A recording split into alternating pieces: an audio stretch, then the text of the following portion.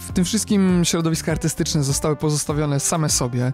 To nie jest żadna nowość. E, kultura od zawsze była solą wokół rządzących, e, niezależnie od tego, kto rządził. E, oni kompletnie nie potrafili i nie potrafią dalej sobie poradzić z tym, jak, jak mądrze urządzić kulturę. Mm, no i efekty były widoczne od razu. No, wiosną Ministerstwo Kultury tutaj nie uznaje ani połączenia go z Ministerstwem Sportu, co jest totalnym skandalem, ani tych wszystkich narodowych przymiotników, więc lecę z formą Ministerstwo Kultury, która, bo taka powinna być ta forma.